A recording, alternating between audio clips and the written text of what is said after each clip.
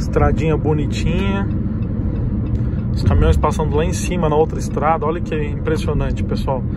Eu não me não me assusto mais com isso, mas para quem vem para cá de vez em quando leva uns sustos assim, né? Entrando nos túneis, 3.146 metros de extensão esse túnel, acabou de aparecer ali.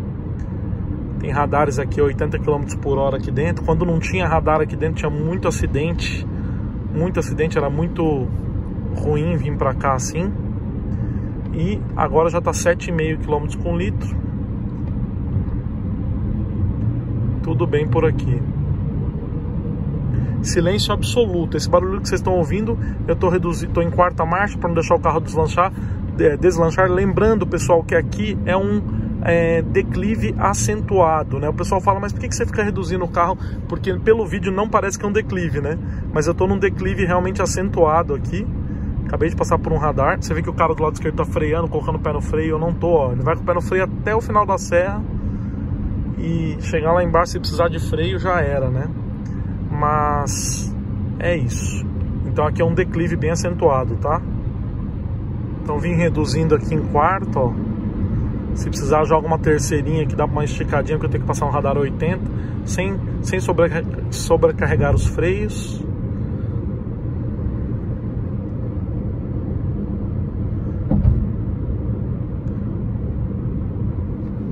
Boa, garoto, muito boa, muito boa. Mais uma freadinha. Reduzir para terceira. Passou o radar. Ó, vou deixar de terceira no manual, ele vai soltar normalmente pro D, ó. Muito bom isso também. Se você deixa o câmbio em drive e troca no sequencial no volante, ele volta para as marchas sozinho aqui. Volta pro drive sozinho, isso é muito bom. O consumo já melhorou significativamente, ó, 8.4 km por litro, 51 km rodados, né? Vamos pegar agora, saindo de Imigrantes, os túneis acabaram, agora vamos pegar acesso outra rodovia que dá acesso a Cônego Rangoni Domênico. Ou Cônego Domênico Rangoni, não sei qual que é. Se eu falei errado aqui, me perdoem. Olha lá, acesso para Cubatão, Guarujá e Bertioga, para quem não conhece. Dia bonito, né? Ensolarado, mas nublado também. Vídeo de estrada com compas, barulho de ventinho do ar-condicionado. Carro vai muito bem aqui, obrigado. Radar a 110 km por hora ali na frente. Vamos devagarzinho aqui. Consumo médio está se mantendo aqui 8.3 km com litro, andando no 12, né, pessoal? Andando rápido demais. Tem que chegar lá duas horas, diminuiu só dois minutos o tempo. Acho que nós vamos pegar uma chuvinha bem forte aí. Mais um pouquinho da serrinha para vocês. Andando aqui, cambiando. O Compass é muito bom, ó deixando o giro subir um pouquinho e aí ele joga a marcha sozinho. Mais um radarzinho a 60 km por hora vamos reduzir. Sempre no câmbio aqui para poupar os freios. Estamos chegando aqui ó. Esse piso tem umas ranhuras nele o carro fica dançando um pouquinho para esquerda e para direita. Mas isso acontece com todos os carros que, que eu passo por aqui viu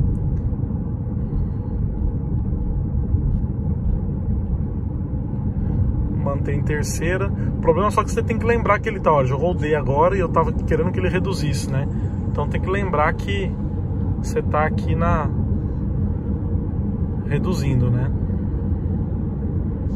Tem um Focus aqui, ó, na sola da bota aqui, ó. Aliás, um Focus, um Up e um Onix Plus.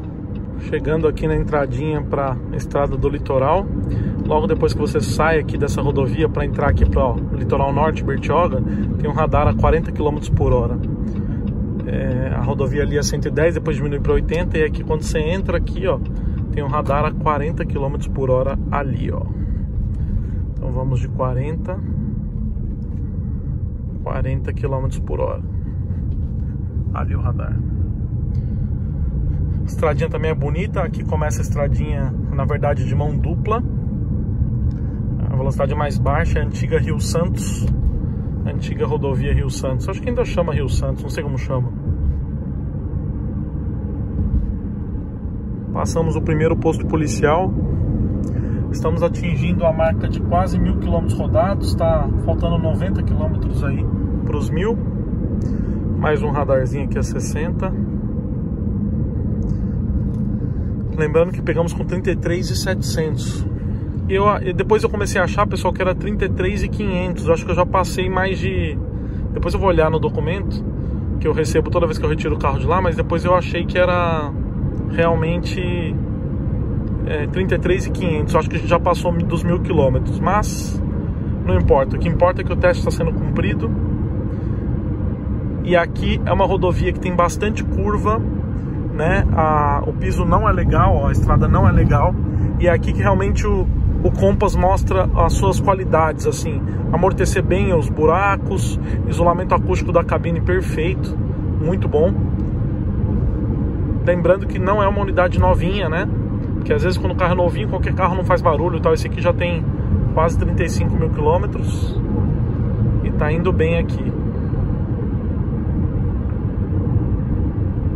Apreciem essa bela paisagem aqui. O pessoal sempre me pede para mostrar um pouco da estrada também. Tô mostrando para vocês. Olha que bacana.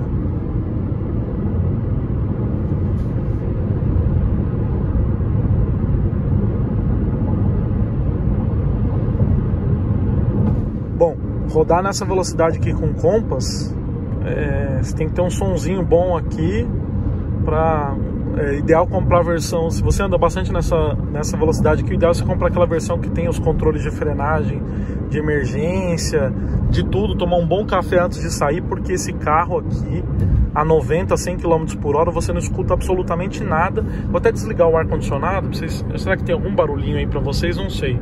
No máximo você escuta as rodas no chão, dependendo do piso aqui, mas nada, ó, nada. Não escuta absolutamente nada. Aqui tem uma sacola ainda dentro do carro que tá fazendo esses barulhos mas você não escuta nada, nada.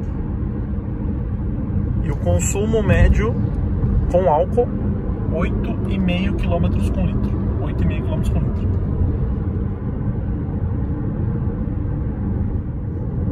Dei umas esticadas no motor lá para dar uma desamarrada aqui no carro e parece que ele está cada vez melhor, cada vez andando mais o Compass. A variação de combustível também interfere bastante, né? Tempos de combustível caro, deve ter muita adulteração aí também, mas ele tá andando bastante o carro. Pessoal, só tô gravando quando eu tô dirigindo devagar, né? Estrada bem esburacada, cheio de buraquinho, o Compass vai aqui, ó, só dando uns toquinhos no buraco, sem fazer você sentir muito. O carro seria balança pouco aqui nessa velocidade. 8.2 km por litro, 98 km e meio rodados já. Muito boa, garoto. Boa demais. Carro bom pra caramba. Lembrando que para você que tá chegando agora, como eu disse no começo do vídeo, não é um vídeo de consumo que visava o consumo, até porque tinha um compromisso para chegar. Estamos concluindo esse é, mais um vídeo aqui sobre este carro, Compass 2.0 Flex. Muito bom realmente, muito bom. Só sinto falta aqui realmente no painel de eu conseguir configurar o consumo aqui médio e a autonomia do carro. Isso era muito importante ter realmente e não tem aqui nessa unidade. Não tinha na, no Renegade também, não tem aqui no, no Compass, mas no Argo que usa, que é do grupo FCA, na versão de entrada já tem também. Então, vai saber, né? Lembrando que esse aqui é um carro de viagem, aquele lá é mais para o circuito urbano, né? Ou seja, é mais difícil achar um posto na estrada do que achar na cidade. Então seria muito importante um carro com uma proposta familiar ter realmente uma o consumo marcando na na, no computador de bordo. Olha que legal. Bem bonito, né? Chegando aqui na cidade de Bertioga, graças a Deus tudo certo com a viagem. Esse foi o vídeo de hoje, Compass Flex 2.0 2019, modelo 2020, já com 33.650 quilômetros rodados. Mais um vídeo contando um pouco da história do Compass.